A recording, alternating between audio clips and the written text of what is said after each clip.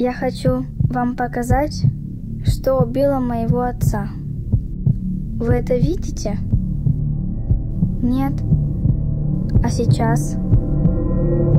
Тогда подойдите поближе. Я тоже этого не вижу. Это микроскопическое волокно, называющееся асбест.